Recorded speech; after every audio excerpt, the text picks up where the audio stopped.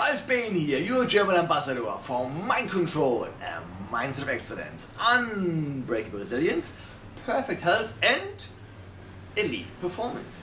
Every day we have to deal with many distractions, temptations, struggle to concentrate, and do our very best to avoid and beat procrastination. Whether we're trying to study for a test, lose weight, work towards a desired future goal, or kick a bad habit. Willpower always plays a very important role. So why do some people stick at it so much better than others?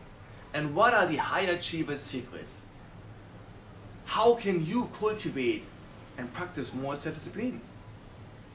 So stay tuned and tune back in tomorrow when we will expose some amazing life-changing mind control habits on how to apply more self-discipline in your daily life. See you tomorrow in our next mind control episode.